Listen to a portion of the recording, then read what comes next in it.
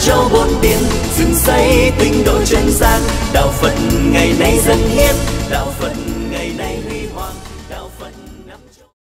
Kính thưa quý thiền hữu tri thức, bài kinh à, sang Đa Ca 76 kinh Trung Bộ, dạy chúng ta hai phương pháp vượt qua trạng thái phi đạo đức và chiến thắng được trạng thái tâm lý bất an vốn có thể xuất hiện ở trong đời sống và sinh hoạt thường nhật của mình. Bài kinh này do tôn giả a nan thuyết trình cho các vị du sĩ sa môn và bà la môn theo truyền thống tâm linh của ấn độ thổ bấy giờ. Cách thức uh, trình bày của tôn giả a nan đó như là một nghệ thuật mà chúng ta có thể học được rất nhiều điều hay tại đây. Sử dụng nghệ thuật không tự khen chính mình và không bao giờ phê bình chỉ trích người khác. Tôn giả a nan đã phân tích bốn học thuyết mà việc đi theo và hành trì theo các học thuyết này đó sẽ làm cho con người đánh mất giá trị đạo đức và phải phương lấy rất nhiều hệ quả và hệ lụy về sau này. Mặc dù mục đích và niềm tin về đời sống đạo đức của những con người như thế vốn có và nỗ lực làm theo nhưng kết quả lại không. Tôi giả a nan xác quyết rất rõ rằng là sự chuyển hóa bốn học thuyết dẫn đến ờ, sự thực tập phi đạo đức đó có thể giúp cho hành giả trở thành một bậc thánh có được các giá trị của an lạc và hạnh phúc và đơn thuần nhất đó, trở thành một con người có giá trị an vui với tư cách là một người tại gia bên cạnh phân tích về à, những à, phương pháp vượt qua đời sống phi thánh hạnh và phi đạo đức, tôn giả Anna cũng đã giới thiệu cho chúng ta thấy rất rõ về à, các trạng thái tâm lý bất an vốn có thể xuất hiện ở trong con đường tâm linh với những nhu cầu rất là thiết yếu. Chỉ khi nào hành giả biết được cái phương pháp vượt qua được các trạng thái tâm lý bất an này đó thì cái con đường tâm linh đó mới có thể đạt được một cách dễ dàng. Mà muốn làm được như thế đó, thì cuối bản kinh này cho chúng ta biết bằng à, nhận xét rất là thích đáng của các vị à, tâm linh, bà la môn giáo và sa môn lúc bây giờ. Đó là phải mạnh dạng từ bỏ danh lệ và sự tôn kính mà các tín đồ, các truyền thống tôn giáo vốn có thể đó tin tưởng và đặt để mình. Thì lúc đó đó mới có thể thực tập và chuyển hóa một cách thành công.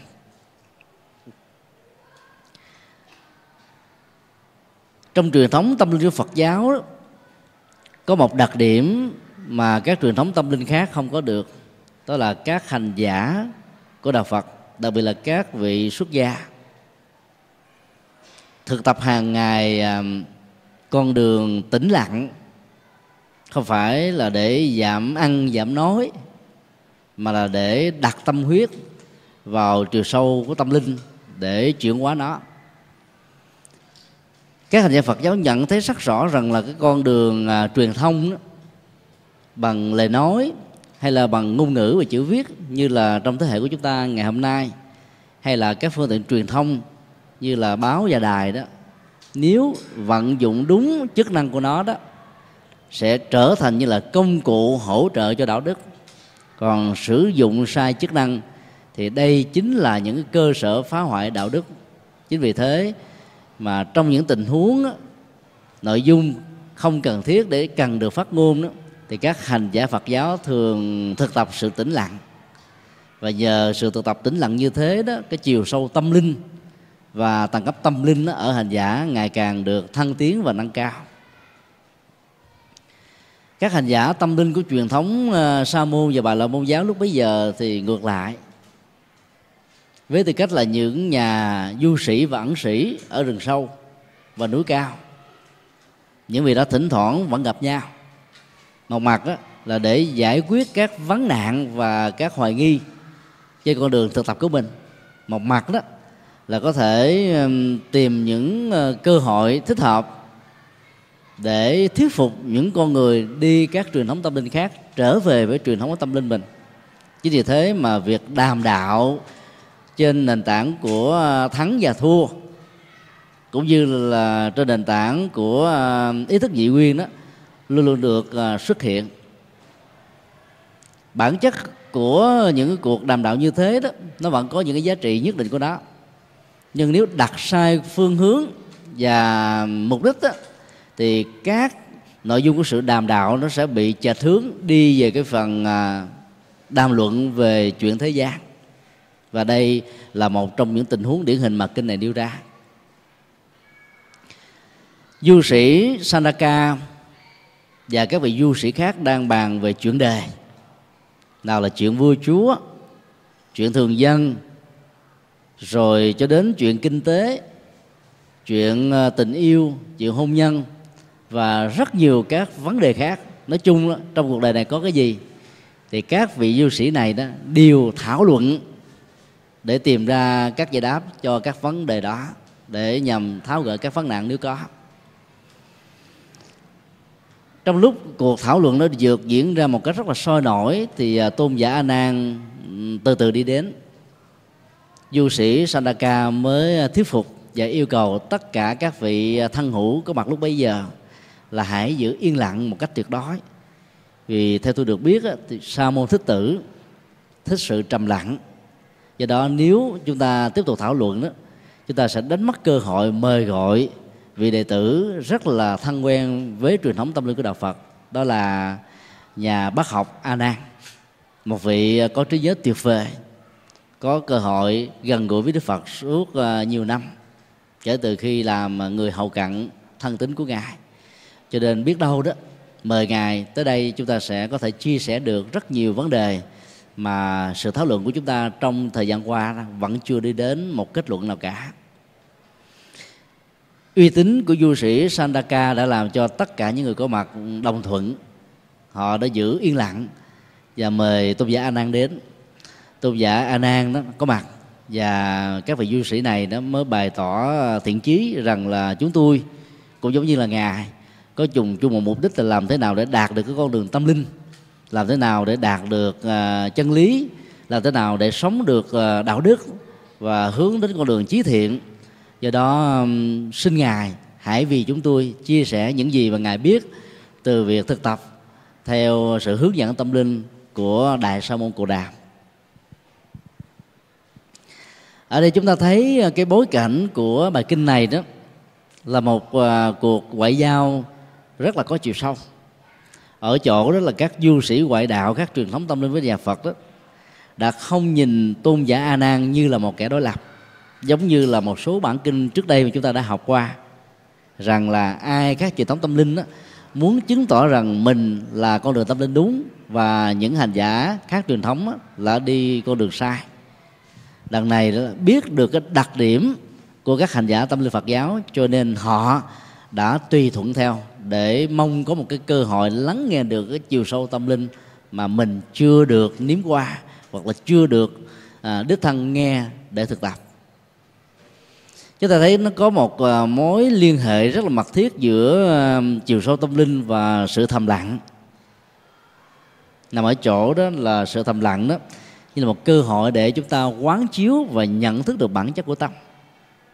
Hơn là để dành quá nhiều thời gian cho việc à, huyên đàm, bàn tán những chuyện nó không liên hệ gì đến lợi ích của đời sống và do đó nó không mang lại chất liệu an vui cho cuộc đời.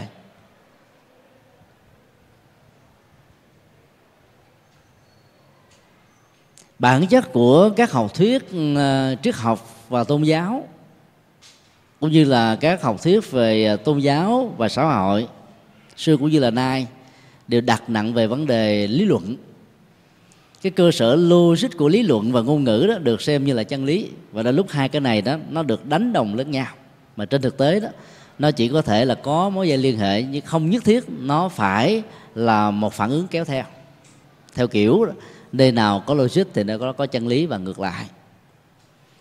Bản chất của con đường tâm linh đó, nếu được hiểu như là chân lý của tôn giáo đó nó phải là một sự quán chiếu và thực tập chuyển hóa tâm sự chuyển hóa tâm linh này nó đòi hỏi chúng ta phải dành thời gian cho nó. Bởi vì nói nhiều đó, thì chúng ta sẽ không có cơ hội để quán. Và do đó, bản chất của sự quán chiếu đó sẽ làm cho tâm mình được lắng dịu, nhẹ nhàng và thư thái. Cho nên tiến trình của sự nhận thức ra con đường tâm linh đó sẽ dễ dàng được thực hiện. Tôn giả a nan đã thể hiện trọn vẹn được phong cách này. Sự có mặt của ngài đã làm cho các vị du sĩ à, bà la môn và sa môn lúc bấy giờ đó có một sự à, tôn kính nhất định nào đó cho nên họ đã phải dừng cuộc thảo luận rất là sôi nổi về chuyên đề, về thế gian, về nhân tình thế thái, về tất cả những điều như ý và không như ý để có thể lắng nghe được cái con đường tâm linh theo đạo Phật là cái gì. Tôn kính và lắng nghe sự khác biệt của các tôn giáo khác đó được thể hiện trong bản kinh này như là một cái cơ hội của đối thoại liên tôn trong đó đó, không ai được quyền lấy học thuyết của mình trở thành như là cái trục xây của con đường tâm linh. Buộc các người khác phải theo. Tất cả mọi người có được cái quyền bình đẳng và dân chủ ở chỗ là thể hiện những gì mình hiểu, chia sẻ những nền tảng đó cho những người khác truyền thống tâm linh. Và biết đâu đó, thông qua sự chia sẻ này đó, chúng ta có thể giúp cho các hành giả thuộc truyền thống tâm linh khác đó, có thể hiểu một cách sâu sắc hơn truyền thống tâm linh mà họ đang thực tập. Những năm cuối của thế kỷ 20 Vatican đã ý thức được à, những giới hạn và những sai lầm thông qua lịch sử truyền đạo thiên chúa giáo khắp nơi trên thế giới. Để lại biết bao nhiêu là nỗi quan khi quán trái trong cuộc đời, sát hại và để lại nhiều à, ấn tượng rất là xấu cho các cộng đồng khác tôn giáo. Cho nên đức giáo hoàng John Paul đệ nhị đã ra sắc lệnh và chủ trương đối thoại liên tôn nhằm à, thiết lập cái nhịp cầu cảm thông với các tôn giáo khác. Và thông qua đó đó, có thể tháo gỡ được cái bản án tạm gọi như vậy về cái hình ảnh à, quá xấu và không ấn tượng của thiên chúa giáo trong lịch sử có mặt với sự đồng hành của nhân loại trong rất nhiều năm qua. Truyền thống à, đối thoại liên tôn đó đã mở ra một cái bước ngoặt mới là yêu cầu những nhà thần học của thiên chúa giáo mạnh dạng mời gọi các nhà tâm linh của đạo phật. Thuyết trình, giảng giải, kinh thánh cũng như là chia sẻ con đường tâm linh của đạo phật cho họ nghe. Vấn đề ờ, chúng ta đặt ra ở trong ờ, sự tương tiếp và học hỏi, giống như bản kinh này nêu ra đó, nó không nằm ở chỗ đó, là họ muốn học thật sự những cái điều hay của mình. Để đi theo. Mà thông qua các cuộc đàm thoại và học hỏi như thế đó chủ yếu là để vay mượn phương pháp luận Phật học để làm nền tảng và công cụ để lý giải và truyền bá nền Phật học, nền thần học vốn rất là xa lạ với mảnh đất tâm linh của châu Á. Chiến lược và phương pháp làm thần học mới này đó một mặt đó làm cho các nhà Phật học cảm thấy rất là thoải mái vì à, mình được à, tôn trọng thỉnh mời đến để chia sẻ. Và do đó đã giúp cho các nhà thần học thi Chúa giáo đó một cái nhãn quan về Phật pháp rất là sâu sắc về các vấn đề mà trước đây theo truyền thống thần học đó họ chỉ có thể lý giải ở cái phạm vi rất là giới hạn trong truyền thống tâm linh này. Đức Đại Lạt Lạt Ma đã được mời vào thánh đường Peter trong uh, uh, thủ phủ Vatican để giảng giải liên tục nửa tháng về kinh thánh tăng ước sau nửa tháng giảng giải và chia sẻ đó đó nhiều câu hỏi của các nhà thần học nổi tiếng nhất ở trên thế giới đã đặt ra. Và quyển sách này đã được xuất bản bằng à, trên 100 ngôn ngữ khác nhau. Bản dịch tiếng Việt đã được à, giới thiệu tại Việt Nam vào năm à, 2002 chúng tôi đã được à, tặng và góp ý cho bản dịch. Chúng ta thấy rằng là cái nhãn quan của Phật pháp nhìn vào các tôn giáo khác đó sẽ giúp cho các nhà hành giả tôn giáo này đó nhìn và hiểu một cách sâu sắc hơn.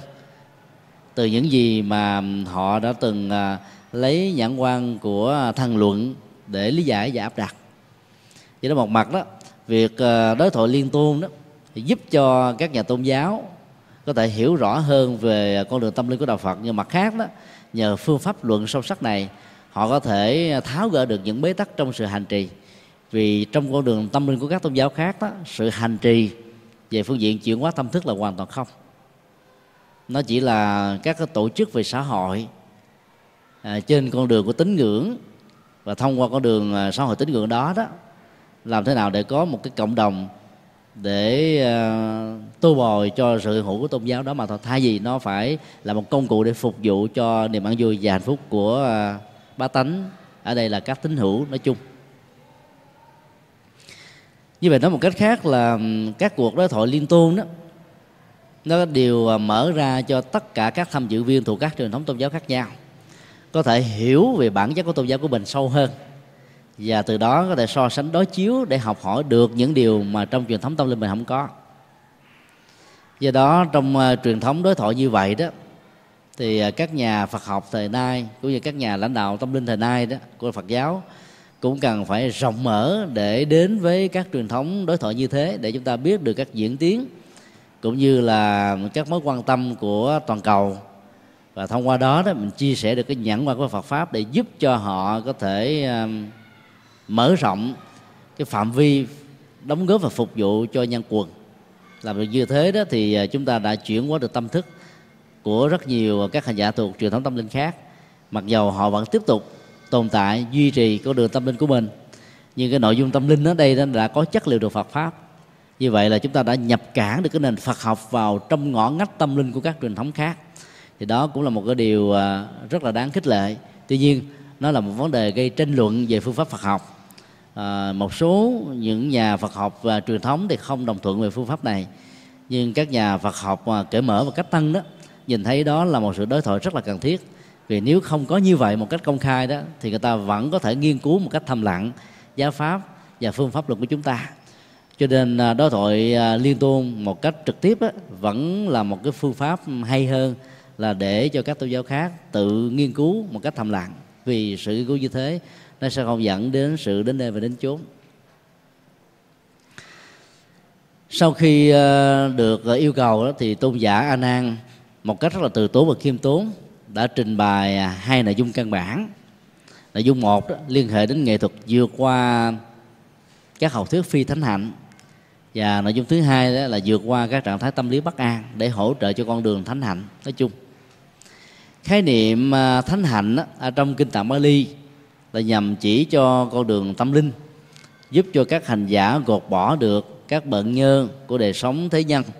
Và từ đó nó trở thành như là một nhân cách rất là cao thượng và nếu ờ, thân tiến với con đường đó đó, thì tính cách phàm phu sẽ được chuyển hóa trở thành một bậc thánh.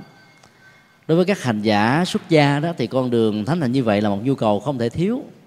Các hành giả tại gia đó có thể thực tập 10% cho đến 50% chứ không cần là thực tập cao hơn. Cho đến khi nào mà nhu cầu về đời sống tại gia với các hạnh phúc giới hạn của nó không thỏa mãn được mình, thì mình hãy chuyển đổi thành con đường xuất gia và trở thành một nhà tâm linh thật sự thì đó, tính cách của thánh hạnh nó sẽ được phát huy ở mức độ cao nhất của nó. Do đó à, phi thánh hạnh được hiểu như là các quan điểm phát xuất từ à, học thuyết, dẫn đến các phương thức hành trì, vốn không mang lại sự chuyển hóa tâm thức một cách à, toàn cục và toàn diện. Và theo sự trình bày của tôn giả a nan đó, thì bốn học thuyết sau đây có thể trở thành như là những phương ngại rất nguy hại cho đời sống tâm linh và đạo đức nói chung thứ nhất, đó là học thuyết vô thần duy vật. Ở trong bản kinh này đó, chúng ta không à, nghe thấy đến việc nêu đích danh, người à, sáng lập và truyền bá học thuyết này là ai. Nhưng dựa vào kinh à, sa môn quả thuộc bản kinh trường bộ đó, thì chúng ta biết người chủ trướng đó là Achita Kesa Kambala sở dĩ mà tôn giả A Nan đã không nêu đích danh đó là để tránh cái tình trạng dẫn đến những sự hiểu lầm như là sự tấn công về học thuyết tôn giáo khác. Vốn có thể tạo ra một cái phản rất là gây gắt và do đó con đường trình bày để giới thiệu về bản chất và giới hạn của nó sẽ khó có thể được các du sĩ sa môn và bà la môn này chấp nhận. Cho nên ngài chỉ nói rằng là có một quan điểm cho rằng là không có đề sao và do đó đó tất cả một hành động thiện và ác đó, cái nền tảng của đời sống đạo đức đó nó sẽ không mang lại cho chúng ta một kết quả gì những người như vậy sẽ quan niệm rằng là cha và mẹ là không có. Là bởi vì con người đó chỉ là một cái tập hợp của đất, nước, gió, lửa do sự à, phối hợp một cách tinh vi của tinh cha và trứng mẹ trong à, những ngày có thể thụ thai. Do đó, sự có mặt đó đó không thể nói rằng là có mặt từ cha mẹ. Quan điểm học thuyết này đó cho chúng ta thấy là một mặt đó, nó như là một sự kháng cự về con đường tâm linh của bà la môn giáo, vốn cho rằng là thượng đế được gọi qua ngôn ngữ truyền thống của tôn giáo này là đấng phạm thiên, tức là đấng sáng tạo, đấng tạo dựng, đấng đã mang lại sự sống như là một ăn sủng cho con người và các loài động vật nói chung, bao gồm à, thiên sai và dạng biệt. Kháng cự lại con đường à, tâm linh à, của bà là môn giáo như thế là một sự tiến bộ ở giai đoạn đầu. Nhưng nó đã dẫn đến một con đường cực đoan, đối lập, đó là không cho rằng có đề sao và cái tình cha nghĩa mẹ đó trong mối liên hi quan hệ thiêng liêng nhất giữa con người à, đối với con người đã bị cắt đứt là bởi vì đã đặt nặng cái học thuyết duy vật à, quy trách nhiệm về ờ, nguồn gốc của mọi sự vật hiện tượng trong đó con người từ các yếu tố nguyên lý của vật chất. Do đó nó dẫn đến sự lũng đoạn về đời sống đạo đức là một điều mà chúng ta phải thấy rằng là nếu không điều chỉnh đó, có thể dẫn đến rất nhiều sự thối thất về niềm tin và do đó có thể làm băng hoại về đời sống đạo đức của mình, cũng như là cộng đồng ở hiện tại và trong tương lai. Học thuyết này còn được à, tôn giả đang trình bày. Nó gắn liền với các quan niệm, nếu không có đề sau đó, thì dĩ nhiên nó sẽ không có kết quả của à, các à, hoạt động từ thiện, như là bố thí, tương thân, tương trợ, chia sẻ, hy sinh, tế tự. Và do đó đó sẽ là một điều sai lầm nếu cho rằng có con đường tâm linh. Đây là một học thuyết đó, nó không phải là quỵ biện nhưng nó là một sự giới hạn vì à, quy à, cứ vào cái hệ quy chiếu của vật chất. Cho nên là con người đã không còn nhìn thấy cái giá trị tinh thần và tâm linh là một cái nhu cầu quan trọng. Vì cho rằng nó là một phần rất là phụ thuộc của vật chất và các nguyên lý cũng như là các yếu tố của vật chất mà thôi cho nên kết quả sau cái chết đó, là con người không còn gì. Vũ trụ này cũng không còn gì. Do đó sự ờ, tồn tại của con người như là một cái diễn tiến về ờ, sự thay đổi của tiến trình tiến hóa từ mức độ thấp nhất cho đến cái mức độ mà chúng ta thấy nó đã phân hình loại và chủng loại của các ờ, chủng loại sinh thái như là loài người các loài động vật loài thực vật và trong các loài động vật đó thì còn có bao gồm là loài ẩm thấp, loài bò sát, loài trên cạn, loài dưới nước, loài trên không trung, loài hóa xanh. Tức là các cái chủng loại được biến hóa, thay thế từ à, các chủng loại như vừa nêu. Do đó chúng ta thấy là từ ngàn xưa đó, tại ấn độ thì học thuyết di vật à, cổ sơ được gọi là di vật vô thần đó, đã có mặt và tồn tại học thuyết này đó à, một mặt đó là kháng cự lại cái con đường à, truyền thống bà la môn giáo vốn đã gây quá nhiều nỗi khổ niềm đau do vì chủ trương bốn giai cấp và không có sự thay ngôi đổi dị ở trong các giai cấp này buộc người ta phải chấp nhận cái định mệnh. Nhưng khi kháng cự lại định mệnh như là một trong những à, nỗ lực à, có tiến bộ về phương diện nhận thức luận thì chủ nghĩa di vật vô thần của ấn độ cổ đại đó đã rơi vào một cái tệ hại đối lập đó là cắt đứt cái mối liên hệ về đời sống đạo đức trong mối liên hệ thân thiên nhất giữa cha mẹ và con cái. Và có thể ờ, thiếu đi cái tính cách trách nhiệm về hành vi đạo đức của mình. Mặc dù trên thực tế đấy, thì các nhà tâm linh của di vật vô thần ấn độ lúc bấy giờ đó là những nhà có thực tập thật sự chứ không phải là những nhà duy vật chỉ chủ trương vật chất là trên hết. Mặc dầu có thực tập nhưng vì cái nhận thức và phương pháp nó sai lầm cho nên kết quả của sự thực tập này nó không mang lại con đường tâm linh, mà việc dấn dấn thân sâu sắc vào con đường này nó sẽ làm cho con đường tâm linh bị mất đi, mặc dù họ mong mỏi đạt được. Cho đó chúng ta thấy là giữa cái ước muốn đó và cái kết quả đạt được trên thực tế nó có một khoảng cách rất là lớn. Nếu các ước muốn đó nó đặt trên nền tảng đối tượng bị sai lầm và các phương pháp để thể hiện ước muốn đó trở thành một hiện thực, nó không có đi theo những trình tự đúng đắn đó thì ờ, kết quả là chúng ta sẽ bị thất vọng. Và bên cạnh đó là phải mang lấy các hậu quả do nhận thức sai dẫn đến ờ, sự ứng dụng sai lầm trong thực tế là điều khó có thể tránh khỏi. Tôn giả đang xác quyết rằng là nếu như ờ, các hành giả với con đường tâm linh đó, muốn vượt qua đời sống phi đạo đức đó, thì điều trước tiên đó là phải từ bỏ quan niệm sai lầm như vừa nêu. Chứ tôi tạm gọi học thuyết này là duy vật vô thần là bởi vì ngài à, tôn giả a nan đã tế nhị không nêu ra tên học thuyết đó. Vì trong số các vị du sĩ sa môn và bà la môn, có nhiều vị đang sống và hành trì theo học thuyết này. Cho nên à, đây là một nghệ thuật. Không cần phải nói một cách trực tiếp, mà chỉ cần nói gián tiếp là những người đang nằm trong cuộc, đang đi trên con đường à, như thế đó, có thể hiểu được rằng là mình như là một nạn nhân của một học thuyết và quan niệm sai lầm. Cho nên họ dễ dàng thay đổi và làm mới cái nhận thức và phương pháp luận của họ hơn là mình yêu đức danh rằng đây là một học thuyết sai. À, từ đó nó dẫn đến những uh, sự mâu thuẫn về học thuyết và do đó không có thể có được một sự chuyển hóa nào. Nhưng trong lúc học đó, thì chúng ta cần phải phân tích rõ về tên của chủ nghĩa học thuyết được nêu ra trong kinh để chúng ta dễ nhận dạng và đánh giá. Học thuyết thứ hai là chủ trương à, không nhân quả. Người khởi xướng học thuyết này có tên là Burana, Kasaba. Nhà tư tưởng tâm linh này cho rằng là không có bất kỳ một tội lỗi và sai lầm nào đối với các hành động như là giết người dưới nhiều hình thức khác nhau. Từ việc giết tập thể hay là giết cá nhân, từ việc mưu sát có ờ, bằng chứng cho đến những sự tình cờ. Nói chung ờ, là con người đó là một tổ hợp của các yếu tố vật lý và do đó việc giết con người đó trên thực tế không phải là một cái giết nào cả, mà chỉ là là cái sự cắt đứt bằng sống mà thôi. Chúng ta thấy à, bên cạnh đó đó, nhà chủ trương à, thuyết phu nhân quả này còn cho rằng là không hề có những cái hậu quả xấu và nghiêm trọng đối với các hành động trộm cắp và tước đi cái quyền sở hữu của thai nhân và cộng đồng, cũng như là không hề có những cái tình trạng có hậu quả xấu cho đời sống qua quyệt ngoại tình ngoài cái hôn nhân xã hội một vợ một chồng. Tất cả những lời nói láo tuyên bố sai sự thật hoặc là những lời gây chia rẽ hận thù hay là làm cho sự huy nghi kỵ và sự ly gián ở trong những người thân đó ngày càng gia tăng à, thậm chí là tạo ra một sự khủng bố nghiêm trọng dẫn đến một sự sợ hãi một cách thầm lặng sâu sắc ở trong từng tâm thức và tâm lý của con người đó. Hoặc là tự mình làm mình là xúi dục những người khác làm hay là giàu cho nó có ảnh hưởng một cách rất là tiêu cực ở hiện tại đến cá nhân hay tập thể, thì tất cả những gì đó nó đều không hề có bất kỳ một hậu quả nào. Tương tự từ quan điểm này đó, thì ờ, Buruna Burana đã cho rằng là cũng không hề có bất kỳ một phước báo nào đối với các hành động lợi ích và từ thiện nói chung.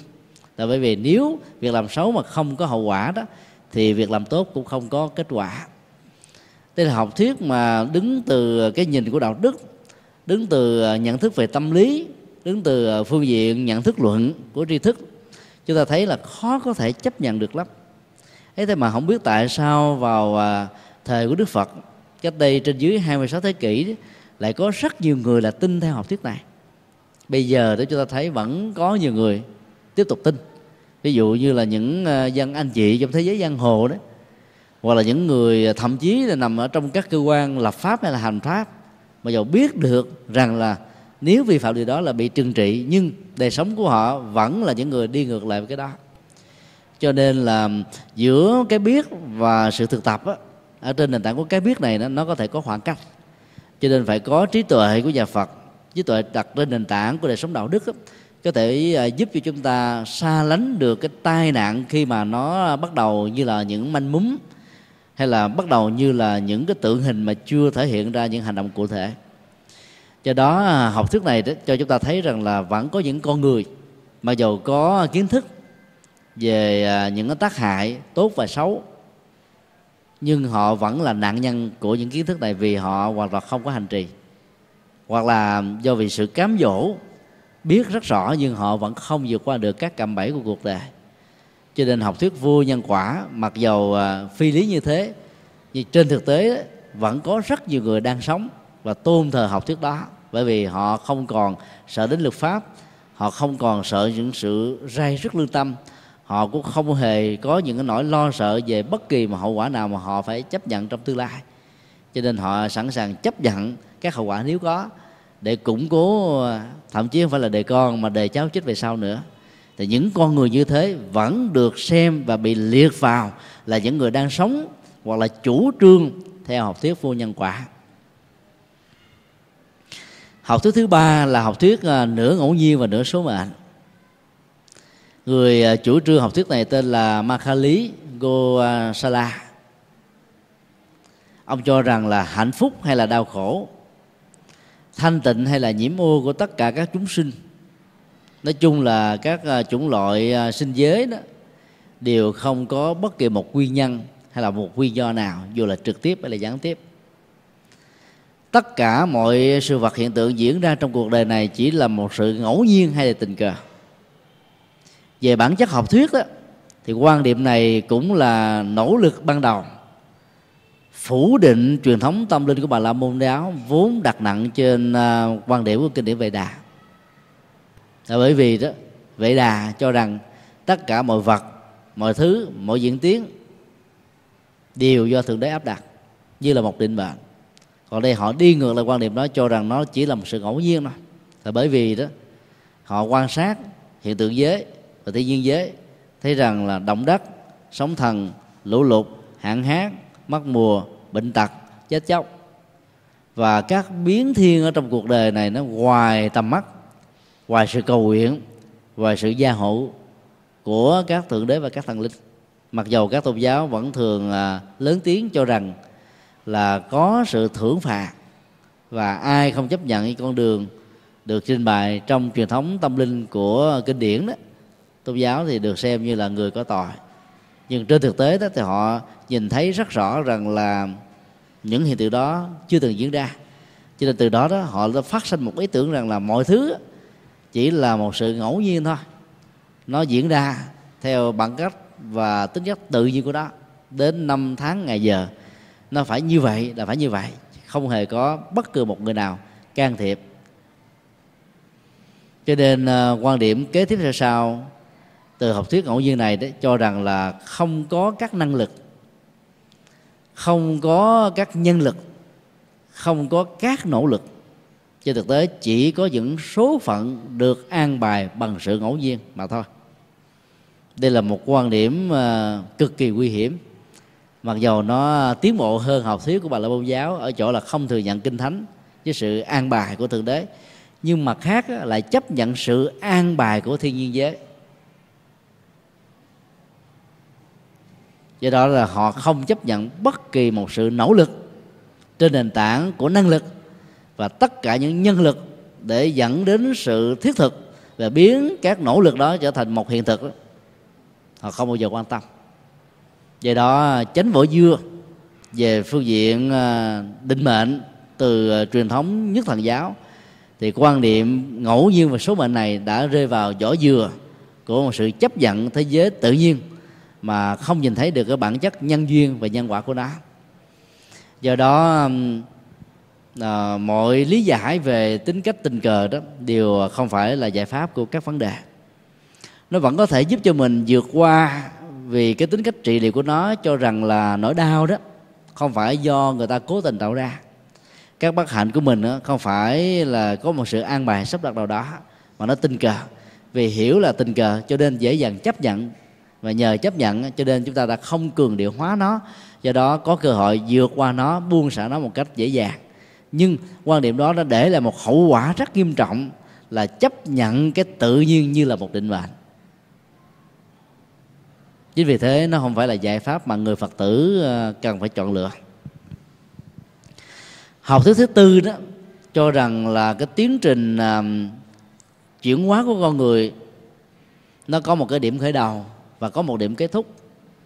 Khoảng cách giữa điểm khởi đầu và kết thúc này là một cái tiến trình tự nhiên của thời gian trải qua năm tháng thời gian nhất định với bao nhiêu cái số tiểu kiếp và đại kiếp, thì à, các hành giả sẽ bắt đầu à, được chuyển hóa các loại động vật giàu ở à, các nhiều cấp loại khác nhau, bắt đầu được thay hình đổi dạng và thăng tiến từ từ trở thành con người. Vì đó, cái tiến trình mất xích của sinh tử luân hồi sẽ được chặt đứt một cách trọn vẹn và tuyệt đối. Người chủ trương học thuyết này tên là Paduka Kayayana. Và ông cho rằng đó là có à, bảy yếu tố bất động được gọi là bảy thân bất động. Không bị sinh sản, tức là nó không phải là yếu tố được hình thành. Và cái gì không được hình thành thì cái đó trên nguyên lý nó không dẫn đến sự hủy diệt. Về nguyên lý này nó có những cái điểm tương đồng mà nhất định nào đó với Phật giáo. Vì Phật giáo cho rằng là mọi sự vật hiện tượng không từ nó sanh ra, lấy chính nó. Vì tự nó sanh ra, nó thuộc về ngẫu nhiên những gì không từ nó sinh ra đó, thì nó không tự bị hủy diệt.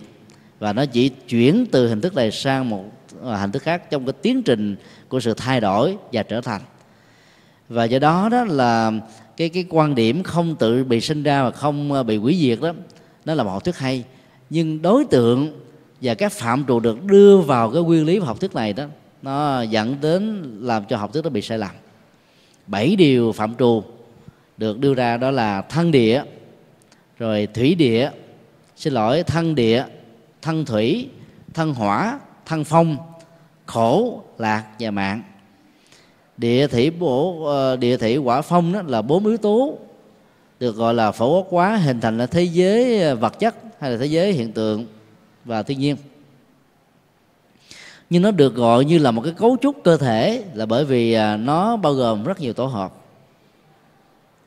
cái khái niệm thân với ờ, hình ảnh của các tổ hợp là ngôn ngữ của ngày xưa sử dụng mà ngày hôm nay chúng ta gọi là các nguyên tử phân tử. Và sự hình thành lên các nguyên tử phân tử này đó nó là một cái tổ hợp của nhiều cái hạt khác nhỏ nhất hơn mà mắt của chúng ta không thể nhìn thấy được. Giữa chúng nó có một khoảng cách rất lớn và chúng đang nằm ở trong một sự chuyển động không ngừng. Chúng ta thấy là học thuyết này nó nó có những cái điểm rất là tương đồng với uh, uh, khoa học vật lý hiện đại ba yếu tố còn lại bao gồm là hai trạng thái tâm lý khổ và vui. Và trạng thái tâm lý thứ ba là là ngã mạn nó liên hệ đến cái tôi. Cái tôi nhận thức cái tôi tâm lý cái tôi khổ đau cái tôi hạnh phúc cái tôi ờ, cảm nhận được hết tất cả những diễn tiến này về phương diện đất nước gió lửa hạnh phúc và khổ đau nói chung. Khi ờ, uh, Baduka cho rằng là tất cả bảy yếu tố vừa nêu đó nó luôn luôn ờ, diễn ra với trạng thái là bất động. Và trong cái tiến trình ờ, tiến hóa đó, thì mọi thứ có thể là vô thường. Nhưng những thứ này là nó không thường còn. Nên nó không bị vô thường chi phối, xin lỗi.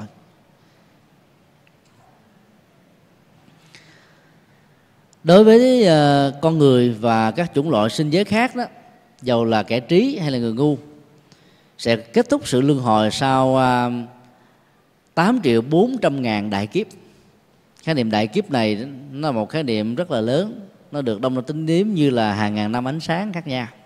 Rồi trải qua khoảng thời gian lâu xa như thế đó thì à, các chủng loại đều giống nhau.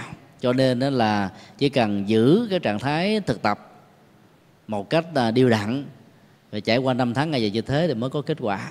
Cho nên đừng có à, à, mong cầu một cách xa xôi hoặc là thực tập một cách quá à, gắt cua kiệu nó sẽ không dẫn chúng ta đi đến đâu. Về à, phương diện lý giải thì chúng ta thấy là cái phương pháp à, thực tập một cách à, từ từ đó và đến kết quả nó là tương đồng với Phật giáo. Nhưng đưa ra cái số liệu về con số đó, nó lại làm cho người ta tin rằng nó vẫn như là một phân nửa của thuyết định mệnh. Tức là phải trải qua một số thời gian nhất định như thế, nếu không đủ, và nếu dư đó, thì kết quả mà không có. Cho nên học thuyết này đó nó được gọi là học thuyết bất tăng và bất giảm về phương diện thời gian trong à, tiến trình thực tập và chuyển hóa tâm thức của hành giả nói chung. Có một ảnh dụ à, khá ấn tượng về à, tiến trình bất tăng bất giảm trong sự thực tập thông qua chuỗi thời gian của các hành giả. Người ta đưa ra hình ảnh của một cái cuộn chỉ với một cái đường kính chẳng hạn như là 4 cm khi à, thả cái cuộn chỉ này lăn tròn ở trên à, một cái đường dốc, thì dầu cho chỉ này nó được à, bung ra một cách đầy đủ nhất hay là giới hạn nhất thì chúng ta thấy là cái số lượng mét của cái cuộn chỉ với đường kính là 3 cm như vậy đó, nó không tăng và không giảm. Dầu nó bị rắm rối ở một khúc nào thông qua tiến trình của sự tuôn chạy ở trên sự quăng hay là nó được giãn ra một cách ừ, thật là căng thì số lượng mét đó vẫn y nguyên như nhau. Thì cũng tự như thế qua hình ảnh này đó các nhà chủ trương về thuyết ngẫu nhiên số mệnh à, thông qua luân hồi tịnh hóa đó cho rằng là trải qua một thời gian nhất định đó, thì hành giả sẽ đạt được cái sự thực tập với kết quả đúng như là mong đợi. Cho nên đó là à, để có được cái tiến trình đó, đó thì các hành giả phải thực tập khổ hạnh để quên đi cái tính thời gian quá lâu dài. Và trải qua một cái thời gian khổ hạnh lâu dài như vậy đó, cho đến lúc đó làm cho các nghiệp được chín người rồi giảm trừ được ờ, những cái nghiệp xấu đã thuần thục, rồi ờ, thực tập một cách chịu đựng, làm cho các giác quan của mình nó tê tái, nó mất hết các cái cảm giác, cảm xúc, thì lúc đó đó chúng ta đã không còn có được cái năng lực đông đo, tính điếm, cái khổ hay là có vui thì con người như thế sẽ không bao giờ bị đấm nhiễm. Và khổ và hạnh phúc đó, sẽ là những vật có thể được đo đường và đo lường khi mà tiến trình của luân hồi tịnh hóa đã được thực hiện một cách trọn vẹn và mỹ mãn nhất.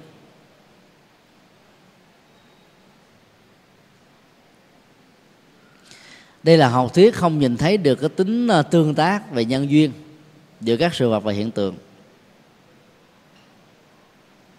Nếu chúng ta cắt một nải chuối sống, bỏ nó trong một ờ, hũ gạo hay là hũ nếp, hay là đặt nó ở trong một cái phòng hay là một cái ờ, cái vật chứa đựng có ờ, khí đá để vú, thì các quả chuối này nó sẽ chín vú sớm hơn cái thời gian mà nó có thể diễn ra như tiến trình nhân quả tất yếu của tự thân. Đây là điều mà chúng ta không có thể nào trói cãi được nếu chúng ta đặt à, một cái nải chuối sống đó ở trong một cái cái tủ lạnh, thì tiến trình chính nó sẽ giảm đi và lâu hơn.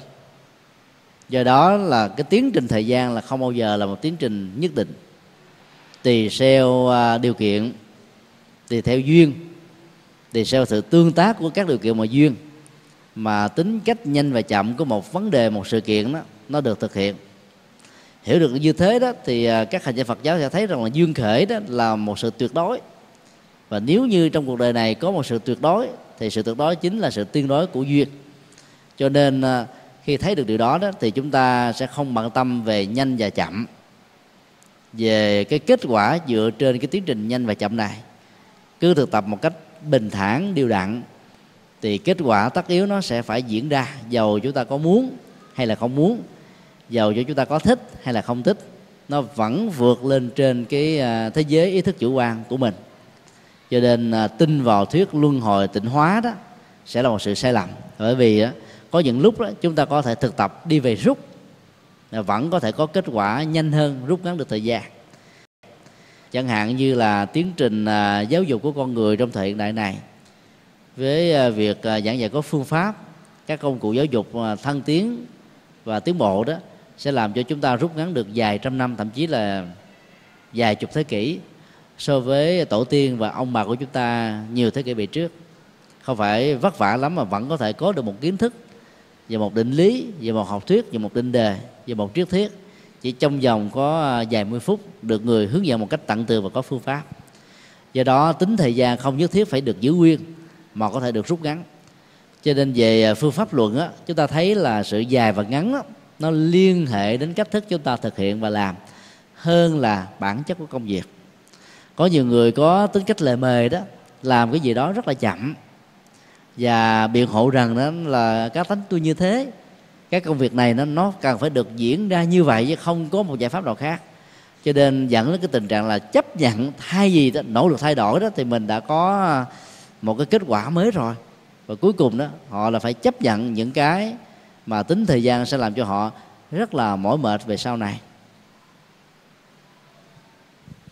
Đây là bốn quan điểm và nếu hành trì theo, thực tập theo đó, chẳng những chúng ta đánh mất thời gian, công sức, ngược lại nó còn làm cho chúng ta rơi vào các cái à, quan điểm sai lầm dẫn đến những hậu quả không thể nào lường trước được. Muốn vượt qua những sự phi đạo đức và phi thánh hạnh đó thì các hành giả phải tin vào à, đời sống tâm linh như là một nhu cầu cần thiết. Thế giới này không phải chỉ có đơn thuần là vật chất. Giàu cho vật chất đó nó có thể chiếm đại đa số mà mình có thể tiếp xúc qua việc thấy, nghe người biết.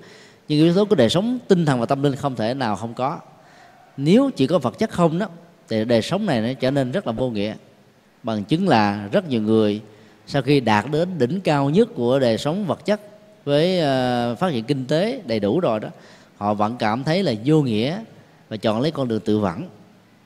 Cái mùa năm học mới vào à, tháng 9 ở tại Việt Nam và nhiều nơi trên thế giới đó, cho chúng ta thấy là rất nhiều học sinh và sinh viên đã trở nên điên loạn hoặc là bị bế tắc hay là những bức xúc, đau khổ do cha mẹ quyền rủa chửi bới khi kết quả của sự thi cử đó nó không đổ đạt như ý muốn hoặc là sự thi trớt, thi trượt đó nó làm cho họ cảm thấy rằng là mình như là một gánh nặng của gia đình và làm mất đi thanh danh của gia đình. Cho nên nó, cái nỗi đau đó đã làm cho họ bị khủng hoảng một cách à, rất là ghê gớm. Nếu không có những sự hỗ trợ về tinh thần và tâm linh đó, họ có thể khó vượt qua được những thách đố này. Năm 2007 à, kỳ này đó tại Việt Nam đó số lượng thi à, tuyển sinh vào đại học gồm có 941.000 thí sinh nhưng mà đã trên 500.000 thí sinh bị rớt. Còn đối với ờ, kỳ thi ờ, trung học phổ thông đó, thì ờ, chính phủ đã có quyết định một cách rất là thoáng cho thi lần thứ hai. Lần thứ nhất thì số lượng thi trượt đó 264 ngàn. Và sau khi thi lại lần thứ hai thì số thi trượt đó vẫn là 230 mấy ngàn. Do đó chúng ta thấy là à, cứ mỗi mỗi một cái à, đầu năm học mới như vậy đó ít nhất chúng ta có từ 800 cho đến là 1 tỷ hay một triệu. Các sinh viên và thí sinh bị khổ đau bị bế tắc. Cho nên con đường tâm linh đó, nó sẽ giúp cho họ đó đứng vững được trước những thăng trầm vinh nhục thành công và thất bại ngày hôm nay. Do đó đời sống tâm linh không thể thiếu trong khi đó, đối với học thuyết vô nhân vô quả đó đó là một sự ờ, nhìn nhận rất là thiển cận thì trên thực tế là không có gì là không có kết quả của nó. Có những kết quả đó chúng ta thấy trước mắt, có những kết quả đó chúng ta thấy trong vòng mấy mươi năm, có những kết quả nó phải kéo dài đến ờ, vài kiếp, vài đời sau. Đừng vì những điều đã gieo trồng ở trong đời hiện tại này nó chưa có kết quả trong vòng mấy mươi năm, cho đến lúc chúng ta nhắm mắt lìa đời mà chúng ta lại khẳng khái cho rằng là nó không có một kết quả nào cả, đối với kẻ tốt và người xấu. Về phương diện đạo đức và về phương diện ảnh hưởng tâm lý đối với đời sống cộng đồng đó, thì đạo Phật cho rằng là giàu cho hành động tốt và đạo đức đó, nó có tác dụng trên thực tế hay không chuyện đó chưa quan trọng. Mà điều quan trọng là nhờ tin vào cái đời sống đạo đức nó có tác dụng, con người ta đã làm biết bao nhiêu là nghĩa cử cao đẹp và có ích lệ cho cộng đồng và xã hội cái đó đó, nó làm cho đời sống của mình có mặt ở trong mấy mấy năm đó, nó thật sự là có ý nghĩa hơn, phải không ạ? À? mà không đó, rất là buồn tẻ. Nếu một người nào đó suốt cả ngày làm tất cả mọi thứ chỉ để phục vụ cho hạnh phúc của bản thân mình rồi là chấm hết. Sau đó là ăn, mặc, ngủ, hưởng thụ. Thì chẳng khác nào như là các loài động vật và gia súc động vật và gia súc đôi lúc nó đâu cần làm làm lụng gì đâu, ví dụ như loài heo. Ăn, mặc, được người ta tắm rửa, rồi ngủ và thỏa mãn tính dục là hết. Cho nên là phải tin rằng là nó có à, các cái à, sự kéo theo về à, phản ứng của nhân quả. Và đây là điều khó có thể tránh khỏi. Có những nhân quả chậm, có những tiến trình nhân quả bị trì hoãn và kéo dài, nhưng không vì thế mà chúng ta cho rằng nó không có. Ở trong kinh pháp cú, đức phật nói rằng là dầu cho chốn ở trên bầu trời, hay là lặn sâu ở dưới đáy biển hay là có mặt ở trong các hang động hoặc là có được cái người tộc tạng hình hay là độn thổ cỡ nào đi nữa chúng ta vẫn không thể nào trốn tránh khỏi một cái nghiệp xấu đã đến lúc chín mùi. Có rất nhiều uh, cái uh, bản án dầu người ta đã trốn nó mấy mươi năm mà vẫn bị phanh phui ra. Và có nhiều người đã chết đi vài chục năm rồi mà vẫn bị tuyên án tử hình thêm vài kiếp nữa nếu sống lại đó, vẫn chưa trả hết cái bản án đã được tòa án quốc tế xét xử. Ví dụ như là sau thế chiến thứ hai, nhiều người đã bị xét xử ờ, tù đến vài trăm năm. Mặc dầu trên thực tế đó, mỗi người sống khoảng chừng trăm hai chục tuổi là hết. Nhưng cái tội ác của họ đó vẫn bị xét xử đến dài trăm năm như vậy. Và phải bị tuyên án tử hình đến nhiều lần mà vẫn chưa hết. Do đó có trốn trại đi nữa thì kiếp sau họ cũng vẫn phải đối đầu. Do đó, tin nhân quả như vậy đó thì à, chúng ta ăn chắc mặt bền và mỗi một hành động nó nó mang lại một ý nghĩa cho sự đóng góp nhiều hơn. Còn ngẫu nhiên và số mệnh là hai cái đối lập với nhau. Tin ngẫu nhiên có nghĩa là không tin số mệnh, tin số mệnh có nghĩa là không tin vào ngẫu nhiên. Nhưng đạo phật cho rằng là ngẫu nhiên đó là một quan niệm sai và số mệnh là một phương diện đối lập. Chỉ có tin vào nhân quả đó mới có thể giúp chúng ta giải quyết được các bế tắc. Không phải mọi thứ ở trong cuộc đời này nó đến một cách tình cờ và dĩ nhiên nó không phải là một sự an bài ở trong quá khứ. Cho nên ai cho rằng là mọi thứ nó đều có gốc rễ và không thể nào cắt đứt khỏi quá khứ đó, thì người đó sẽ không bao giờ có được nỗ lực ở trong hiện tại và tương lai. Cho nên chấp nhận vận mệnh đó là biến mình trở thành một nạn nhân. Và đó là một sự điều sai lầm. Còn luân hồi tịnh hóa theo tiến trình tất yếu của thời gian đó là một sự sai lầm. Là bởi vì tùy theo nỗ lực và phương pháp nỗ lực mà tính thời gian dài và ngắn đó, nhanh hay chậm đó, nó sẽ được định đoạt là điều mà chúng ta không thể phủ định. Sau khi nghe trình bày về bốn học thuyết vốn có thể dẫn đến sự uh, suy thoái về đạo đức các nhà du sĩ sa môn và bà la môn có mặt lúc bấy giờ là cảm thấy bị sửng sốt. Tại vì là mình đã tin theo các học thuyết này vì ờ, cái năng lực của mình phán đoán đúng và sai nó chưa đủ sức. Khi nghe ngạ nan với cái ảnh hưởng là người thân cận gần gũi, có gọi học được tất cả những gì mà đức phật đã dạy. Cho nên họ đã bắt đầu ừ, thay đổi quan điểm của mình. Để có sự thay đổi đó, họ mới đề nghị tôn giả a nan hãy tiếp tục trình bày. Có những phương pháp nào để giúp cho họ tháo gỡ được những trạng thái bất an, dù là họ biết rằng là họ đang đi trên con đường sai lầm, để tránh khỏi được những cái hậu quả tiêu cực ở trong hiện tại và tương lai hay không? Thì tôn giả Anna đã trình bày à, có um, có bốn điều mà nếu mà mình không mạnh dạng bỏ qua và chuyển qua nó đó, thì trạng thái bất an vẫn có mặt một cách rất là thường trực chứ không nhất thiết và không chỉ đơn thuần là thường xuyên. Thứ nhất là những người có thói quen tự thổi phòng mình tức là cường điệu quá cái chức năng và giá trị đóng góp của mình lên mặc dù trên thực tế mình không xứng đáng và mình thường cướp công của người khác làm cái công trạng của bản thân mình. Những người như trế đó thì à, theo ngài a nan đó sẽ bắt đầu à, cho rằng là mình là một bậc toàn trí. Có thể à, có được khả năng nhận thức một cách đúng đắn không sai trong bất cứ một tình huống nào dù à, trong lúc thức hay là trong lúc ngủ. Khi cho mình là một bậc toàn trí rồi đó thì người đó giàu cho thực tế chỉ là một bậc trí ngu tức là cái vô minh dày đặc nhưng họ không bao giờ và không bao giờ chấp nhận rằng là mình đang bị rơi vào cái bế tắc này. Do đó đó cái thói quen thôm bơm phòng năng lực của mình lên đã làm cho họ có thái độ là mục hạ vô nhân. Cho nên đó, giàu cho có tài có tri thức thật sự giờ họ vẫn không thể nào nối kết được các hạt giống tri thức bằng ngang hơn để cùng làm những việc đại sự hoặc không thể nào có được cái thái độ rộng lượng để mời gọi những người yếu kém hơn mình để giúp cho họ có được cái năng lực tương tự để thay thế mình gánh vác những trọng trách và những vấn đề quan trọng về sau. Cho nên cuối cùng là những người như thế đã thường sống ở trong sự cô đơn và sống trong sự ảo giác rằng mình là đỉnh cao nhất trí tuệ của thời đại. Thì những người mà tự thổi phồng như thế đó à, luôn luôn sống ở trong trạng thái bất an. Bởi vì khi đối diện mình với chính mình họ thấy rằng là mình còn quá nhiều sự giới hạn nhưng trước một quần chúng mình vẫn tự bơm phòng và không chịu chấp nhận. Do đó đó ờ, có những lúc đó thì họ sẽ không trả lời được đúng.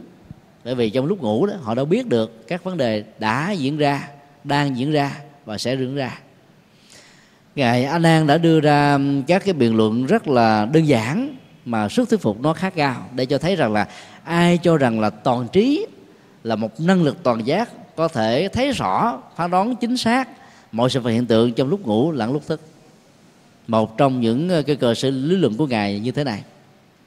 Nếu ví dụ khi đối diện đến uh, địa lý mà người tự xưng là toàn giác toàn trí đó đó lúc nào cũng phải hỏi đường đi từ điểm A đến điểm B từ đây xuất phát cho đến nơi về. Phải hỏi tên đường phải hỏi tên làng và hỏi người này và cái kia thì đó cho thấy rằng là cái tính cách ừ, toàn tri thức còn chưa có, huống hồ là toàn trí.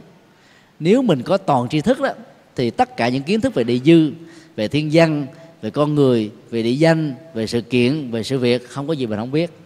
Nếu còn có hỏi và nương sự trả lời của người khác, thì tính cách toàn tri thức đã không được thiết lập. Trong khi đó, toàn trí là một năng lực tu tập. Mà nếu mà mình không có trung thực về cái lương tri liên hệ đến cái năng lực tri thức của mình thì mình đã là một người dối trá. Người dối trá thì không thể nào được gọi là có trí tuệ, huống hồ là có toàn trí. Đây là một trong những ờ, biện luận rất đơn giản mà rất là sâu sắc. Cho nên nếu ai cho mình đã là một bậc chứng đắc được giác ngộ và giải thoát đó chúng ta chỉ cần hỏi có những điều nào mà họ chưa biết đó thì chúng ta biết rằng đó là một lời tuyên bố rỗng nè cái cơ sở lý luận thứ hai để có thể phá vỡ những người tự thổi phòng mình bằng toàn trí và toàn toàn à, toàn tri ở chỗ đó.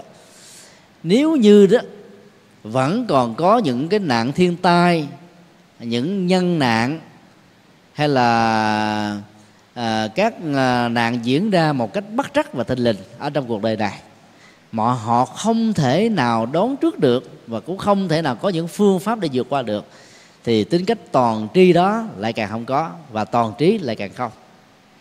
Trên thực tế thì chúng ta thấy là diễn tiến về thiên tai đó nó là cái quy luật nhân quả trong tự thân của các sự vật hiện tượng ở trong vũ trụ này.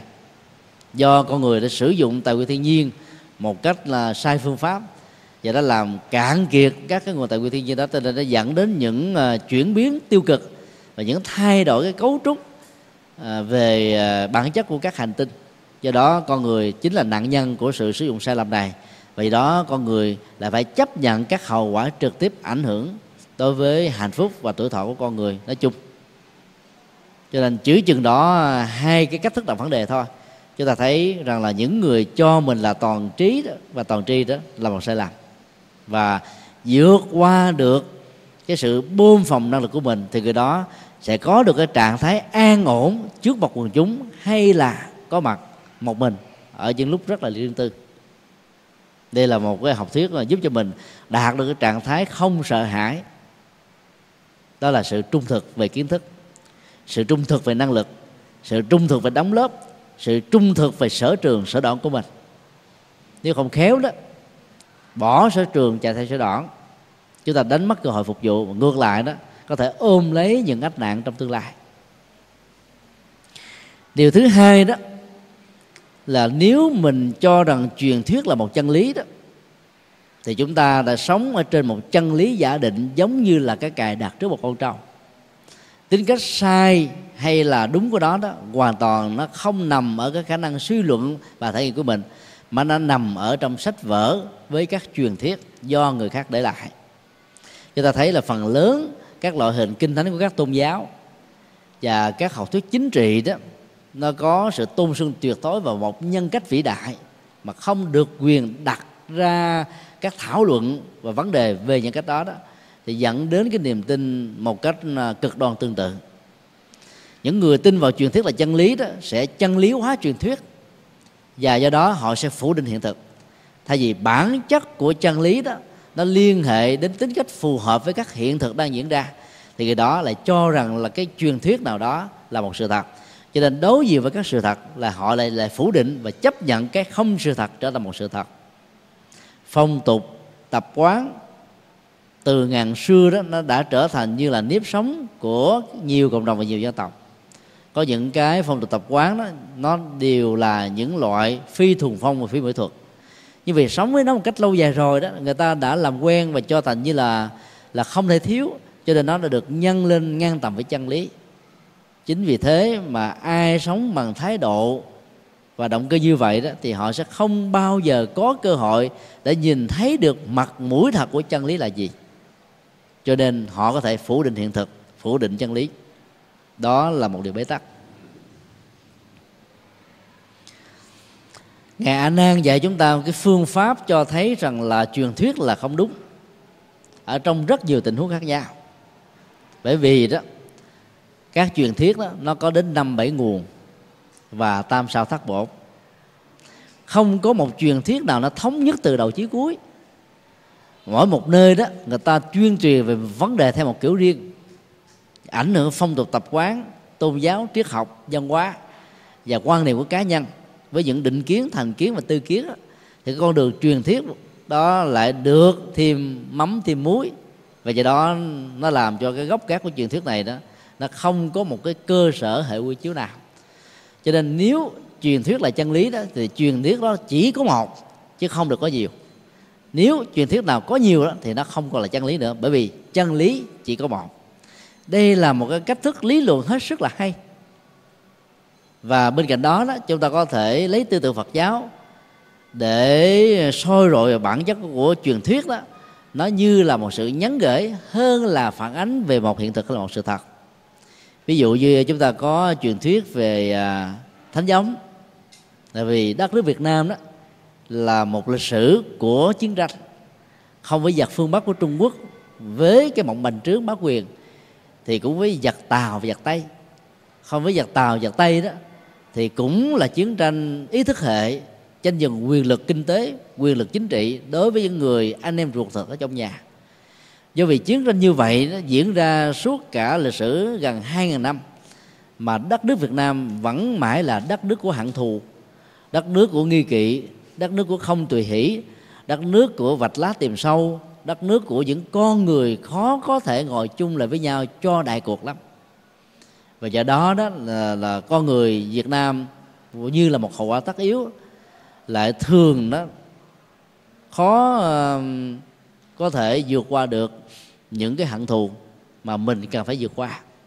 Chính vì thế mà truyền thuyết về thánh giống đó, như là một cái nền tảng à, hỗ trợ cho cái cuộc chiến tranh bất khuất để tìm lại chủ quyền dân tộc và độc lập của một quốc gia. Một đứa bé chưa biết nói, thậm chí là chưa biết đi, mà vì đại sự quốc gia không thể ngồi yên trước vận nước thịnh và suy. Do đó chỉ cần à, ăn như là phốc và trở thành như là một đại lực sĩ lực lượng có thể đánh giặc ngoại xâm bằng chiếc tầm nhông dạt ngọn đây là một cái cái học thuyết nói về cái ý nghĩa anh hùng dân tộc. Ở chỗ là chúng ta có phương tiện gì, công cụ gì, vũ khí gì thì sử dụng cái đó để mà đánh. Và giờ đó có tấm lòng. Nói kết các tấm lòng này lại với nhau. Thì kết quả của sự chủ quyền dân tộc và độc lập của một quốc gia không thể nào không không đạt được. Do đó, nếu một em bé còn được làm được như thế thì thử hỏi những chàng thanh niên những bậc trí giả những người có vai trò vị thế những người có kinh tế có quyền lực và có những uh, giá trị đóng góp trong xã hội chẳng lẽ không làm được công việc như là một em bé hay sao? Đây là một loại truyền thuyết mang tính cách là khích tướng cho người ta cảm thấy là rai rứt khi phải so sánh với một cậu bé thơ ngây. Nếu mình làm không được mình không xứng đáng ngang bằng với cậu bé. Và do đó nhờ sự so sánh ngang bằng và kém trong tình huống này. Mà những con người không có tinh thần yêu nước lại trở thành con người có tinh thần yêu nước. Thì là bản chất của truyền thuyết đó, nó mang một thông điệp để gửi gắm một thông tin, nó truyền thừa một cái năng lực và nó khích lệ cho người ta đi vào một cái giá trị nào đó. Đó là đó là những cái truyền thuyết có giá trị giáo dục cao. Nhưng mà bên cạnh đó, nó vẫn có rất nhiều truyền thuyết mà nó không đi đâu tới đâu. Mà nó có thể làm cho chúng ta chấp nhận nó như là chân lý cuối cuối cùng chấp nhận như là một vận mệnh, như là một số phận. Ví dụ những truyền thuyết rằng là đức chúa trời tạo ra vũ trụ này ở trong vòng 7 ngày. Cái ngày thứ bảy đó, thì đó là cái ngày được gọi là chúa nhật là ngày của chúa chúa nghỉ ngơi. Thì từ đó đó, người ta đã đặt lịch ra theo tây lịch này. Mà trên thực tế nó là thiên chúa lịch, để à, đánh dấu tất cả cái phận sự ngày và đêm của thiên chúa trên cuộc đời đã từ à, mấy ngàn năm qua cái ảnh hưởng của nền à, lịch thiên chúa như thế đã trở thành như là một phần sự sống của rất nhiều nền văn hóa khác nhau. Cho nên ảnh hưởng của thiên chúa giáo đó về phương diện này đã len lỏi một cách rất thầm lặng vào đời sống của quần chúng. Trên thực tế thì chúng ta biết rằng là vũ trụ này đã tự nó được hình thành bằng các nguyên lý tương tác duyên kể mà đạo Phật đã chủ trương, mà các nhà khoa học gia, các nhà vật lý gia hiện đại đã có những học thuyết tương tự do đó không thể có nguyên nhân khởi thủy dù đó là một đấng thượng đế dù đó là vật chất dù đó là duy tâm dù đó là bất cứ một cái gì thuộc về đất, nước, gió, lửa, vân vân. Đó là một sự tương tác của các mối quan hệ tổng hòa trực tiếp và gián tiếp với nhau, hình thành, phát triển, tồn tại hoại diệt để trở thành một cái mới. Do đó tin vào truyền thuyết về chúa tạo dựng ra cuộc đời thì bỗng dưng chúng ta là kéo theo một niềm tin về định mệnh rằng là mỗi người có một cái số. Và gắn liền với đó là cái phận của mình. Và cái số phận đó nó gắn liền với năm tháng ngày giờ của ngày sanh. Nó gắn liền với năm tháng ngày giờ của tiến trình lịch, quá khứ, hiện tại và vị lai. Cho đến công ăn, việc làm, rồi ờ, cho đến khởi công, xây dựng, hoàn tất tất cả mọi thứ đó, phần lớn các quốc gia trên thế giới này đều gắn liền nó với hệ quy chiếu của con số và chấp nhận như là một cái số phận. Đây là một cái quan niệm sai lầm. Đức phật cho rằng là nếu mà mình biết vun trồng nhân quả tốt đó thì tương lai sẽ rạng rỡ. Không cần có những nỗi lo không cần có những mong cầu mà kết quả vẫn diễn ra một cách rất là thích yếu. Cho nên bỏ niềm tin vào truyền thuyết sai lầm đó chúng ta sẽ không còn nổi những sợ hãi. Ví dụ theo truyền thuyết đó, thì năm 2000 đó, là cái năm gọi là tận diệt cả trái đất và vũ trụ này. Người ta vẫn tin như thế ở trong kinh thánh trụ ước đó. Các linh mục các nhà thần học vẫn tuyên truyền như thế. Nhưng đến năm 2000 có chuyện gì đã xảy ra đâu. Bây giờ chúng ta vẫn tiếp tục sống. Rồi đến năm à, 2036 theo tiên đoán của các nhà khoa học gia về vũ trụ, sẽ có một sự va chạm về thiên thể giữa cái hành tinh của chúng ta với một cái thiên thạch rất là lớn sẽ làm cho cái hành tinh này sẽ trở thành những mảnh vụn mà chúng ta thấy như là những ờ, chiếc sao rơi sao băng ở trong vũ trụ bao xa này các nhà khoa học quốc tế đã phải ngồi lại với nhau tìm những phương hướng làm thế nào để đẩy cái quỹ đạo của hành tinh mình bị chệch đi chừng không phẩy một độ thôi. Thì từ năm 2000 ờ, cho đến năm 2036 trong vòng 36 năm đó cái độ trên lệch 0,1 này nó sẽ làm cho sự va chạm thiên thạch nó không có mặt và như thế là sự tận diệt vũ trụ và thế giới này nó không có. Thì chúng tôi tin chắc rằng là chuyện đó nó cũng không bao giờ diễn ra. Là bởi vì à, cái cái cái cái quỹ đạo theo tự tính toán của con người giàu chuẩn xác nhất đi nữa, nó vẫn còn có những sự tương tác của các cái hệ mặt trời, các hệ mặt trăng khác ở trong vũ trụ này. Và do đó à, sẽ không có một sự tận diệt đơn giản như thế đâu. Cho nên tin vào các truyền thuyết đó, phần lớn đó, chúng ta có những nỗi sợ hãi cái sợ hãi nó gắn liền với các hậu quả mà truyền thuyết đã, đã định đặt ví dụ như là nạn hồng thủy sẽ diễn ra nạn động đất sẽ diễn ra. Cho nên à, vào năm 1999 khi nạn động đất lớn có mặt ở Ấn Độ đó thì những người truyền giáo cơ đốc nói chung thông qua ba chi nhánh chính là Thiên Chúa, tinh lành và Chánh thống đó, luôn đi giao giảng rằng là Chúa sẽ đến và có mặt cái ngày phán quyết cuối cùng. Tất cả hãy tin vào Chúa để ngày phán quyết đó mình có được dự phần để hưởng được nhan Đức Chúa ở trên thiên đường. Đây là một à, học thuyết và truyền thuyết rất là sai, nhưng mà ta vẫn cứ tin. Nó không giải quyết được vấn đề gì. Và nhiều người đó đi tự vận một cách tập thể vì không muốn nhìn thấy cái ngày phán quyết cuối cùng vào năm 2000 đó. Ở tại Nhật Bản đã có hàng trăm người dưới sự hướng dẫn tâm linh của một vị à, là mê tín vào truyền thuyết này, đã trở thành toi mạng và bất hạnh trong tương lai khi tái sanh, họ là bị lẳng quẩn ở trong sự bế tắc đó tiếp. Nếu không có được con đường tâm linh cao cấp hơn để chuyển hóa họ. Điều thứ ba, tôn giả đang trình bày đó là những người sống duy lý. Tức là tất cả mọi chân lý dựa trên nền tảng của sự suy luận mà không cần có bất kỳ một yếu tố nhân duyên nào. Họ mơ tưởng cái gì họ nghĩ rằng nó có thể có hiện thực cái đó chúng ta thấy là giới trẻ nó thường có khuynh hướng là sống duy ý chí. Năng lực mình một có thể mơ tưởng mười. Điều kiện hoàn cảnh không cho phép, nhưng vẫn có thể nghĩ rằng mình làm được thành công. Bỏ qua tất cả các ngoại duyên và điều kiện, họ đã làm mà cuối cùng họ bị thất bại. Bởi vì cái kinh nghiệm của họ quá ít và cái thao thức của họ quá nhiều, cho nên đó là lực đã bắt tùng tâm. Bởi vì tùng theo tâm đó, nó phải lệ thuộc vào các điều kiện và yếu tố cho nên người sống dựa trên nền tảng duy lý đó, sẽ không theo bất kỳ một cái biện pháp tư duy triết học hay khoa học nào. Họ nghĩ cái gì thì họ muốn cái đó phải là sự thật, phải là hiện thực. Cho nên cái phương pháp này nó dẫn đến sự tư biện rất là nhiều. Và do đó họ kéo theo thái độ rất là độc đoán, chủ quan. Và trong tiến trình à, quan sát các diễn tiến đó, trên nền tảng của độc đoán và chủ quan đó, họ thấy là là mọi sự nó đã không diễn ra theo ý của họ. Thì cuối cùng đó, họ có thể dẫn đến ờ, cái tình trạng sống là không nhất quán, thiếu lập trường. Khi thì ờ, rất là độc đoán về quan điểm này. Lúc thì độc đoán về quan điểm khác. Cho đến lúc nào cái tính cách tư biện do duy lý nó không có mặt nữa đó, thì lúc đó đó, họ mới đi trên lập trường. Và kết quả của con đường đi đó mới có thể ờ, đạt được ở mức độ tương đối nhất định do đó ai sống với chủ nghĩa duy lý trên nền tảng của tư biện bản thân thì nỗi sợ hãi rất là nhiều. Cái con đường được xem là quá độ, được xem là thử đấy mà. Nó đều là những cái chủ nghĩa duy lý. Chúng ta chưa hình dung ra được hết kết, các kết quả của nó ở trong tương lai. Chúng ta cũng chưa hình dung được những cái hậu quả nó có thể có. Nhưng mà vì duy lý chúng ta nghĩ rằng chúng ta có thể đạt được. Thì cuối cùng đó, chúng ta đã mang lại nỗi sợ hãi cho chính bản thân mình một cách thầm lặng. Mặc dù bên ngoài đó, chúng ta vẫn cho rằng đó là con đường chân chính cần phải đi qua. Do đó, sự ờ, thực tập trên con đường ờ, thử không được rồi sửa đó, nó đều thuộc về chủ nghĩa duy lý.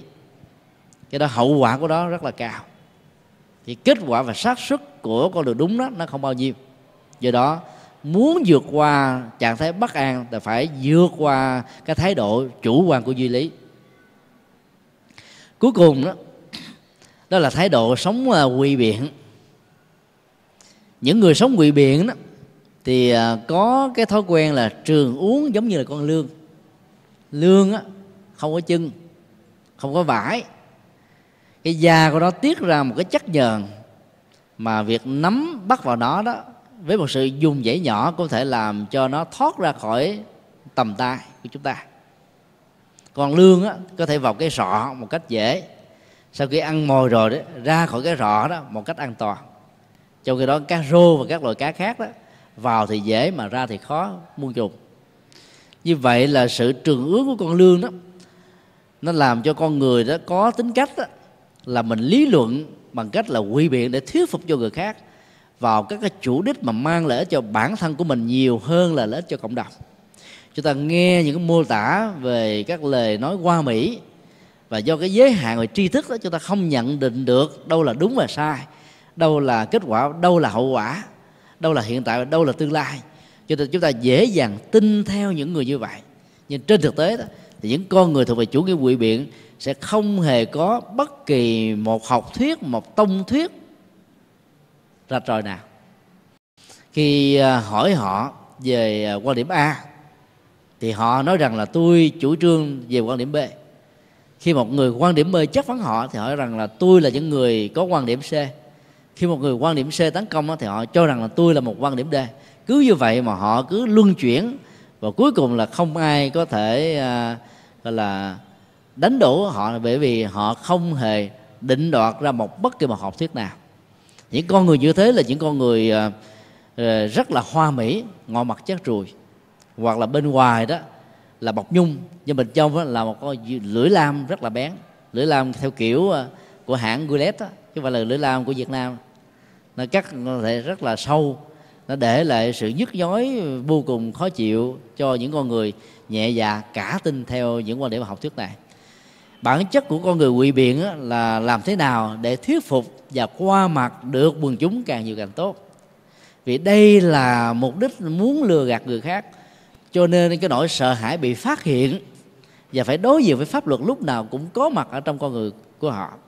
Do đó đó là để có được sự an tâm một cách lâu dài thì người đó phải dứt khoát rõ ràng về tông thuyết về học thuyết. Tông thuyết và học thuyết đó có thể đúng hay là sai. Đúng á, thì phát huy sai thì sửa chữa. Thì con người như vậy đó thì nó không để lại cái hậu quả nhiều và nghiêm trọng như là những nhà quỷ biện những nhà quỷ biện đó có thể là dễ dàng kết tình thân với chúng ta. Khi biết rằng là chúng ta mang họ hàng ví dụ là trần họ nói rằng là tôi tên là trần thị chi tôi tên là trần văn ba để cho mình dễ là có thiện cảm. Thì biết rằng là mình đệ tử của ông hòa thượng a nói rằng tôi cũng đệ tử của hòa thượng a. À, thiết lập niềm tin và thiết lập tình thân trên nền tảng quỷ biện như vậy đó dễ dàng lắm. Mà sau khi có niềm tin rồi đó thì họ dễ dàng tạo cho chúng ta những điều không ngờ được mà về sau này khi nhận chân ra được đó, thì cũng đã quá muộn màng và quá trễ lắm rồi. Các nhà quỷ biện ngày nay đó rất là tinh vi. Họ có thể dựng lên à, một tình tiết hoàn toàn không có. Bằng các dữ liệu mà sự chính xác của nó có thể lên đến 90%. Nếu chúng ta là những nhân vật lịch sử hay là những nhân chứng ở trong 90% của sự thật đó thì khi nghe mô tả về điều này là chúng ta hoàn toàn cảm thấy là bị thuyết phục rồi. 10% còn lại là hoàn toàn không có sự thật là một sự vu cáo, một sự vu khống, một sự dàn dựng chuyện thôi. Cho nên là khi bị thuyết phục 90% chúng ta dễ dàng nhẹ dạ cả tin vào 10% hoàn toàn là không có chân lý. Thì các nhà quỷ biện như thế đó là vô cùng nguy hiểm. Những người à, đã phá đạo phật đó thì thường đi vào cái phương pháp này. Ở hoa kỳ đó thì à, có tú gàn vốn là một thẩm phán tối cao của chế độ việt nam cộng hòa. Sau khi chế độ này à, đã không còn nữa, dưới nỗ lực không thành là muốn xóa đạo phật ra khỏi bản đồ của việt nam. Thì họ đã bắt đầu có những cái ăn quán tại vì à, mất công ăn, mất việc làm, mất nghề nghiệp, do đó đã trở thành hận thù đạo phật. Cho nên cái công việc của tú gàn và một nhà thẩm phán thứ hai tên là phan thiết, với tác phẩm ờ, rất là tai tiếng, đó là hành hương đất phật. Là nhằm ờ, là dựng lên những cái chuyện vốn không có về đức phật, về giáo pháp, về các hòa thượng, về các ngôi chùa, về các pháp môn, về các tông chỉ, để làm cho những người chưa biết là đạo phật dễ dàng bị tin.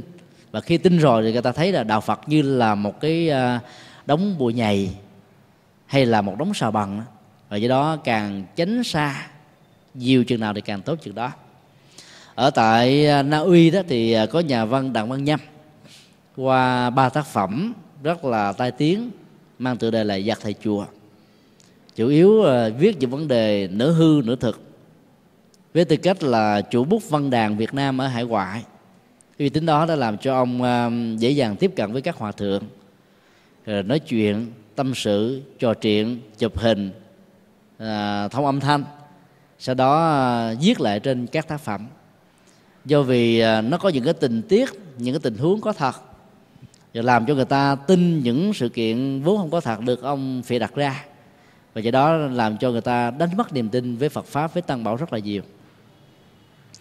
Vừa qua tại Hoa Kỳ đó chúng tôi à, đọc được cái phản án à, phán quyết của tòa án ở hạt à, Texas trừng phạt ông về cái tội mạ lị một nhân vật ở trong tác phẩm giặc thầy chùa tập 3 với cái à, số tiền là 525.000 đô. Ông ta đã nhận trác tòa nhưng đã à, vắng mặt ở trong cái phiên án xử phạt đó và bây giờ đã trốn biệt tâm bị biệt tích. Ở hải ngoại đó, thì luật về bảo vệ danh dự cá nhân của con người được tôn trọng rất cao.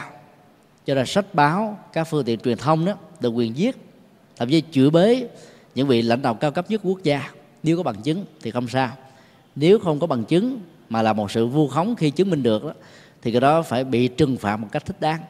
Để cho làm gương và ai góp phần truyền tai phổ biến hay là khích lệ người khác đọc những tác phẩm kể từ khi cái phán quyết của tòa án đã có hiệu lực kể từ ngày ký thì cái đó cũng bị phạt bởi tòa bằng một cái ờ, cái cái bản án phạt một cách tương tự. Nhờ đó mà người ta thận trọng hơn, không dám quỵ biện để dàn dựng lên những cái chuyện không đáng dàn dựng, có thể đánh đứt lương tâm của mình. Và sau này đó, khi hối hận đó, thì cũng đã quá muộn màng. Ông đặng văn nhâm, ông tú gàn ông phan thiết và nhiều nhân vật có thành kiến với đạo phật cực đoan khác đó đã làm việc đó. Và bây giờ những ông này đang phải đối diện với rất nhiều sự thật khổ đau đó là tòa tri cứu và tên tuổi cũng như là các uy tín của ông ta nếu có đó, ở trong quá khứ, dù là rất là nhỏ để trở thành như là tro và cát bụi. Do đó, quỵ biện để đánh đổ thanh danh của người khác đó là một cái điều mà vi phạm đến đời sống đạo đức. Cho nên nỗi sợ hãi nó luôn luôn nó có mặt với mình. Mặc dầu trong lúc mình làm, mình muốn chỉ hả giận để trả thù chung hay là trả thù riêng thôi nhưng không biết rằng là cái sự sợ hãi đó nó làm cho khi mà bị tòa án phán quyết, người ta đã không dám có mặt ở trước tòa. Và khi tòa án đã thực thi cái cái cái án quyết này rồi đó, thì họ đã phải trốn chui trốn nhủi, rầy đây mai đó, ẩn tích mai danh trên trốn giang hồ. Như vậy chúng ta thấy là nỗi sợ hãi và trạng thái bất an vẫn có mặt đối với những người quỵ biện để hại và mang lại khổ đau cho người khác và tha nhân sau khi trình bày à, bốn điều à, cần phải được vượt qua để chuyển hóa trạng thái bất an đó thì tôn giả a nan đã dạy nghệ thuật chuyển hóa. Đó là phải à, vượt qua được năm trói buộc của tâm. Mà việc thực tập thiền quán đó sẽ giúp cho hành giả thực tập một cách thành công. Năm trói buộc thấp của tâm đó, tất cả chúng ta đều biết là tham sân si mạng và nghi. Thì tham đó là những cái ước vọng phục vụ cho lợi ích của cái tôi, bất chấp khổ đau của tai nhân và cộng đồng. Sân đó nhưng là phản ứng kháng cự, chiếm đoạt, hoặc là đi ngược lại với cái trạng thái tĩnh lặng của tâm. Ờ, đánh mất đi ờ, thái độ điềm tĩnh, thể hiện sự giận dữ và các hành động có thể mang lại tác hại cho người, cho đời. Còn si là mê dại khờ ngu tối tâm thiếu ánh sáng và thiếu uh, dứt khoát. Cho nên kết quả là bất kỳ một phát quyết một quyết định nào đều không mang lại an vui và hạnh phúc. Trong khi đó sự hoài nghi đó nó là một cái hệ quả của lòng si. Nói chung là khi hành giả thực tập vượt qua được năm sự trói buộc của tâm đó thì hành giả đó sẽ không còn có trạng thái bất an dưới nhiều hình thức được nêu ra trong bốn tình huống tự thổi phòng mình, tự tin vào quá nhiều truyền thuyết không đúng, tự sống với cái chủ nghĩa duy lý của bản thân và tự quỳ biện để ờ, mang lại ờ, những ờ, ảnh hưởng tiêu cực cho cho người khác. Cái thứ hai là các hành giả phải thực tập tuệ giác, tức là làm thế nào đó qua sự chuyển hóa tâm thức để chứng đắc được ba tuệ giác lớn, hiểu rất rõ được dây mơ rễ má về đời sống quá khứ của mình từ đại cương cho đến chi kiết, không chỉ đề này, mà nhiều đề kiếp về trước. Cái thứ hai đó là thấy được cái nhân quả của thai nhân ở trong tương lai, rằng là mọi hạnh phúc và khổ đau, tốt và xấu, thân phận này hay là vị trí xã hội nọ, nghịch hay là thuận duyên ở trong cuộc đời, không phải do ngẫu nhiên, không phải do áp đặt, mà là kết quả tất yếu của hành vi do chúng ta tạo ra một cách trực tiếp hay là gián tiếp trong sự tương tác giữa mình và người và thứ ba đó là lậu toàn thông. Tức là thấy rõ được rằng là thông qua sự thực tập chuyển hóa đó, mình đã làm rơi rụng phiền não, nghiệp chướng, nhiễm ô tất cả nỗi khổ, niềm đau, thái độ, tâm lý, nhận thức sai lầm tiêu cực đã không còn có mặt nữa. Thì lúc đó đó, chúng ta đã đạt được cái trình độ chuyển hóa tâm thức, làm cho mình không còn lui sụp ở trong nỗi khổ và niềm đau. Thì thực tập như thế mặc dù khó nhưng nếu mạnh dạng và quyết tâm đó chúng ta vẫn có thể đạt được kết quả của đó. Sau khi trình bày con đường vượt qua đơn giản như vậy đó thì uh, tôn giả a nan đã trình bày giá trị đạo đức của một bậc thánh. Bậc thánh đó đó có thể là người phàm kẻ tục như là những người tại gia có thể là những vị xuất gia chân chánh. Những người này sẽ không bao giờ vi phạm vào năm điều đạo đức đó là giết người đó là trộm cắp đó là nói láo đó là nó gây chia rẽ, đó là sự hưởng thụ. Các chất gây sai, làm thương tổn sức khỏe của thân thể là mê mờ tâm trí, làm cho mình thiếu sáng suốt, nói chung, và tình trạng ngoại tình về ờ, cái ước hôn nhân một vợ một chồng. Nhờ đó đó, các hành giả này sẽ phát huy được cái năng lực thấy biết rất rõ về tứ đế, tức là nhìn thấy thực tại của các bế tắc diễn ra như một sự thật cái thứ hai là tìm đến nguyên nhân sâu xa của đó cái thứ ba là tin vào cái tình trạng lành mạnh sau khi chúng ta giải quyết được vấn đề. Và phải tin rằng là mọi thứ đó phải có hành động và việc làm cụ thể. Tức là con đường thực tập tâm linh để mang cái ước mơ niềm tin đó trở thành một hiện thực. Thì có được như vậy đó thì những phiền não và lậu hoặc sẽ được chuyển hóa. À, quá khứ dù có bị khổ đau thì hiện tại sẽ không còn nữa hiện tại chưa được hạnh phúc thì nó sẽ được vun trồng hạnh phúc. Tương lai đó sẽ là một cái gì đó nằm chắc chắn, gọn ở trong lòng bàn tay của mình. Mà muốn làm được như thế đó, thì giống như à, các vị du sĩ có mặt khi nghe đức a nan trình bày, nói như thế này, chúng ta phải mạnh dạng gột rửa các học thuyết ở trong nhận thức của mình.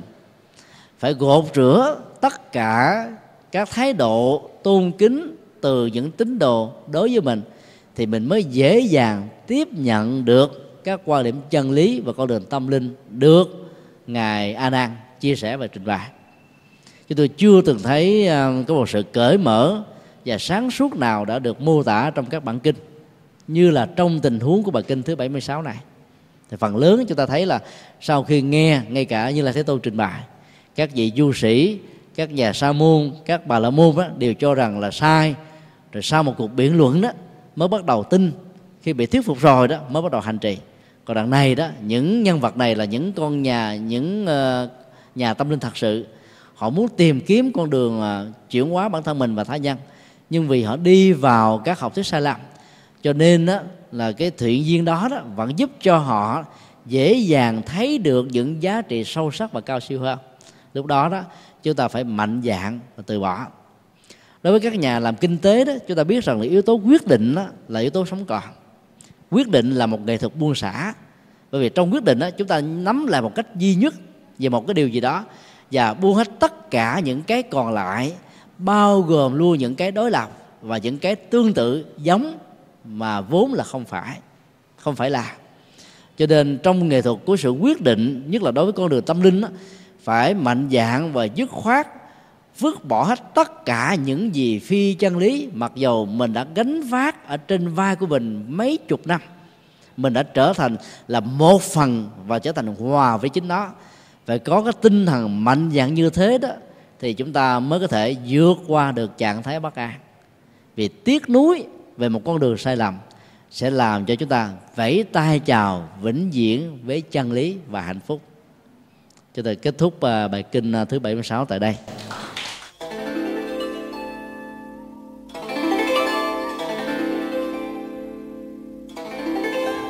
Pháp âm Đạo Phật ngày nay xin khép lại nơi đây.